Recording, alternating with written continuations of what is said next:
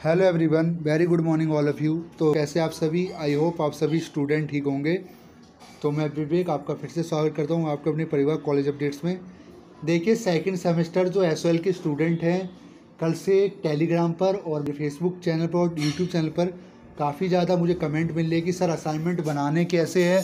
क्या क्या डिटेल डालनी है? कैसे कैसे नियम फॉलो करने हैं?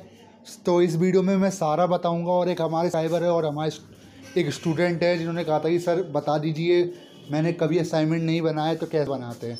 तो सारा बताऊँगा मैं इस वीडियो में। तो सिर्फ़ मेरी बात को आप सुनिएगा, ठीक है? कुछ कुछ बातें ऐसी होती है जो आप फिर सुन नहीं पाएँगे, फिर कहेंगे सर, आपने कैसे करना है, वो कैसे करना है? तो मैं कोशिश कर रहा हूँ कि असाइनमेंट के जितने भी क्वेश्चन है, मैं इसी वीडियो में सॉल्व कर दूँ। वरना अगर आप चाहे, आप चाहो तो असाइनमेंट के लिए असाइनमेंट कैसे बनाना उसकी एक अलग सेपरेट वीडियो में बना दूँ, अगर आप चाहो तो। कमेंट कर देना, ठीक है? पहली बात आपने एडमिट कार्ड डाउनलोड कर लिया, ठीक है। डेट शीट देख ली, ठीक है। गाइडलाइन पढ़ ली, ठीक है। अगर जिसका भी एडमिट कार्ड नहीं आया है तो वो एक काम करे, वो वो वेट कल तक का, कल तक का सॉरी आज वेट कर ले। अगर तब भी नहीं आता तो समझिए कि आपने एग्जामिनेशन फॉर्म सबमिट नहीं किया। और अगर तब भी आपने एग्जामिनेशन फॉर्म सबमिट किया है सेकेंड सेमेस्टर का, जो एग्जामिनेशन फॉर्म शो हो हो रहा था उस तो ये उन्हीं की तरफ़ से एरर है, क्योंकि ये एरर ठीक कर लिया जाए, क्योंकि कल भी कई सारे स्टूडेंट हैं जिनके एडमिट कार्ड शो नहीं होते भी बाद में शो होने लगे। सर आप कोशिश कीजिएगा, जो नीचे क्वेश्चन पूछता है ना, वो मैथामेटिकल उसको आप सही आंसर दीजिए जैसे five plus one six plus two minus है ठीक है? तो अब स्टार्ट करते हैं वीडियो देखिए। आपको ए फॉर साइज़ की सीट का यूज़ करना है असाइनमेंट के लिए। चाहे वो ब्लैंक भी हो सकती है रूल्ड भी हो सकती है। तो अभी मैं आपको डेमो के रूप में रूल्ड सीट के ऊपर दिखा रहा हूँ। तो आपका मन है, पर साइज़ ए फोर साइज़ होना चाहिए। रूल्ड हो या ब्लैंक ठीक है? आपको सिंपली क्या करना है? सबसे पहले, देखिए, इस सीट पे क्या क्या लिखना है, वो मैं आपको बताता हूँ। सीट पे जैसे मैं आपको बता रहा हूँ, इसी तरीके से आपको लिखना है। सोल रोल नंबर आईडी कार्ड पे मेंशन होता है। Exam roll number admit card पे आ गया होगा। पेपर नेम पेपर नेम यानी उस सब्जेक्ट कौन सा है? एजुकेशन है पॉलिटिकल साइंस है कॉमर्स का है अकाउंट्स है फाइनेंशियल है मैनेजमेंट पॉलिटिकल ऑनर्स में कौन सा सब्जेक्ट है, वो आपको यहाँ डालना है। पेपर कोड पेपर कोड आपके एडमिट कार्ड पर भी, आपके क्वेश्चन पेपर के के ऊपर भी है। देख लेना, डाल देना, ठीक है? बाकी मैं मुझे बताने की ज़्यादा ज़रूरत नहीं है। और एक बात और ध्यान रखना नीचे पेज नंबर आपको डालना है। जैसे पेज नंबर के ऑप्शन में दिखा रखा है, आप उसे ऊपर भी लिख सकते हो, नीचे भी लिख सकते हो। इसलिए मैं नीचे दिखा रहा हूँ मैं आपको। पेज नंबर में आपको सीरियल वाइज लिखना है। जैसे एक सब्जेक्ट के दो क्वेश्चन आपको सॉल्व करने हैं और हर क्वेश्चन के फ्रंट पेज पे आपको ये डिटेल डालनी है। फिर बैक बैक पे आपको क्या डालना है, वो तो मैं अभी आगे बताऊँगा। तो हर क्वेश्चन के फ्रंट पेज पे आपको ये डिटेल डालनी है और यहीं से आपको फिर नीचे से क्वेश्चन नंबर डाल के उसका फिर आंसर आप उतारना स्टार्ट कर दोगे, चाहे गूगल से, चाहे बुक से। बाकी हम तो हम तो जल्दी आंसर प्रोवाइड कराएँगे ही आपको, ठीक है?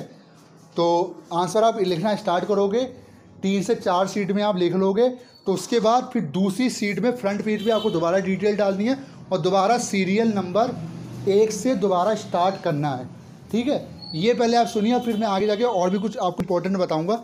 अब देखिए बैक सीट यानी फ्रंट का मैंने आपको बता दिया बैक सीट पे क्या क्या इन्फॉर्मेशन डालनी है। जैसे फ्रंट सीट पे आपने क्वेश्चन स्टार्ट किया, फिर बैक पे आप ले लिखोगे तो माँ एग्जामिनेशन आपका रोल नंबर और नेम और पेज नंबर इसके अलावा, ना तो आपको अपना मोबाइल नंबर डालना है, ना अपनी गर्लफ्रेंड वगैरह का मोबाइल नंबर डालना है, ना ईमेल आईडी डालनी है, ना कोई धार्मिक चिन्ह बनाना है, जैसे कि सात सौ छियासी ओम नमः शिवाय, राम, ये कुछ नहीं लिखना है पेपर में। ये हरकतें बच्चे वाली होती हैं, जो कि आपने भी की होगी जब आप नगर निगम में पढ़, पढ़ते होंगे या प्राइमरी स्कूलों में। तो उसमें कई स्टूडेंट क्या करते थे कि सीट पे लाइन पे खींच के वो इधर उधर धार्मिक चिन्ह डाल देते थे।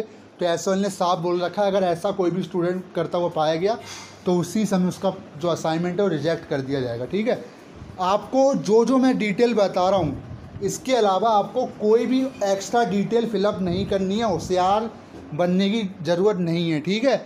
अगर आपके मन में ये बात आ रही है कि अरे सर तो ऐसी बोल रहे कुछ नहीं होगा, वहाँ कोई चेक नहीं करेगा, ये ही डिटेल मेन चेक की जाती है।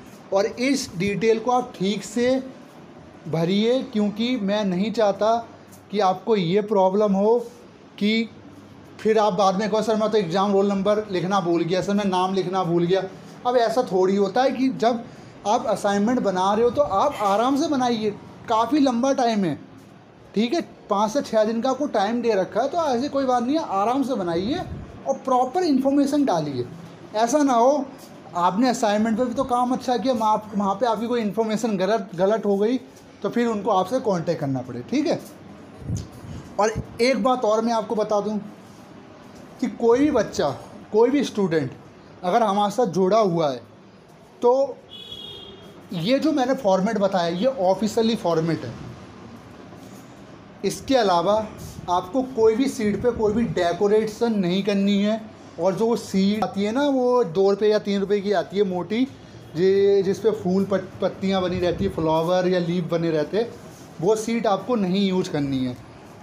ए फोर साइज़ की ब्लैंक या रूल्ड दोनों में से कोई भी आप यूज़ करोगे। सामने और पीछे लिख सकते हो। फ्रंट पेज पे आपको हर क्वेश्चन के फ्रंट पेज पे आपको ये डिटेल डालनी है और बैक पेज पे आपको ये डिटेल डालनी है। ना मोबाइल नंबर, ना सिग्नेचर, कुछ नहीं करना है। अंडरस्टैंड? बाकी एक बात और मैं आपको बता देता हूँ कि जब भी आप आंसर लिखो तो पॉइंट वाइज लिखो। कोशिश करो पॉइंट वाइज लिखो। ठीक है?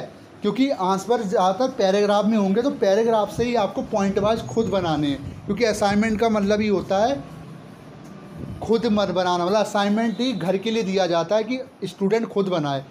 तो इसीलिए कोशिश कीजिए पॉइंट वाइज लिखना और जो नियम है, जो इनके बता रखा है, उनको ज़रूर फॉलो करें। अगर किसी भी स्टूडेंट ने अभी तक गाइडलाइन नहीं पढ़ी है तो जाके मेरी पिछली वीडियो देख रहे गाइडलाइन वाली तो उसमें मैं आपको सारा मैंने इंट्रोडक्शन दे रखा है किस तरीके से आपको फॉलो करना है और बाकी तो मैं इस वीडियो में बता रहा हूँ, ठीक है? अब हाँ एक बात और। अब भी कोई डाउट है आपके मन में कि सर ऐसा कैसे होगा, ये क्या होगा, क्या लिखेंगे? तो मैं बार बार कह रहा हूँ, कोई हवा वाली चीज़ नहीं है। सिंपली आपको डिटेल डाल के नीचे से क्वेश्चन नंबर डाल के आपको स्टार्ट कर देना। चार में से दो करने हैं। अगर आप पहला करें तो क्वेश्चन नंबर पहला डाल के आंसर लिखेंगे, तीसरा कर रहे तो क्वेश्चन नंबर तीसरा, आंसर तीसरा डालेंगे। तो बस मेंशन करना है। अब अपलोड के लिए मैं बता दूँगा, पहले आप असाइनमेंट बना के तैयार कीजिए और असाइनमेंट को जो जो मैंने आपको डिटेल बताई वो फिर उसकी पीडीएफ स्कैन करनी है। स्कैन करने के लिए मैं वीडियो बना दूँगा कि स्कैन कैसे करना है। बेसिकली मैंने वीडियो पहले बना दी है। वो आप देख लेना, मेरे चैनल पर पड़ी होगी। बाकी मैं एक कोशिश कर रहा हूँ, मैं दोबारा बना दूँगा। वैसे ज़रूरत नहीं पड़ेगी बनाने की। तो ठीक है, मैं, आप कमेंट कर देना, मैं बना दूँगा कि पीडीएफ फ़ाइल कैसे बनानी है, कैसे स्कैन करना है, ठीक है? और इसके अलावा भी कोई भी और डाउट हो, कोई भी आपके क्वेश्चन हो तो कमेंट कर देना। सारे कमेंट पढ़े जाते पर रिप्लाई लेट मिलता है। और हमारा टेलीग्राम चैनल ज्वाइन करना ना भूलना, क्योंकि उसी पे अगर आंसर शेयर होंगे तो उसी पे होंगे, और यूट्यूब चैनल पर तो होने ही होने हैं। तो आज के लिए बस नहीं थैंक यू सो मच